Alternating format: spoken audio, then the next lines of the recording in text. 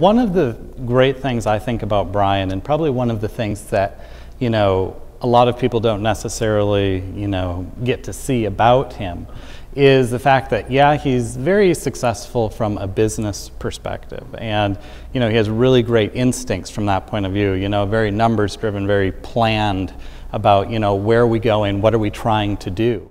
But then more than that is, you know, what he's trying to work on, especially what you can see at Pyxl, is on an individual level and kind of like on a friend level or a mentor level with people, is trying to make sure that people are doing something that they truly love and something that they're truly getting stuff out of.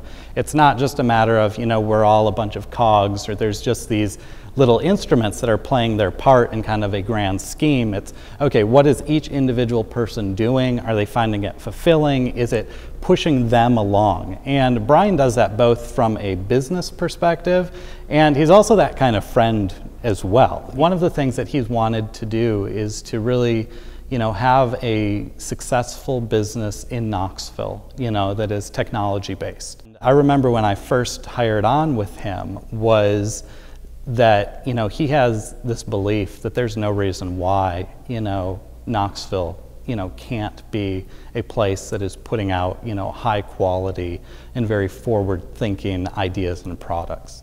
Brian, uh, congratulations to you on winning the award. I can't think of anyone who deserves it more.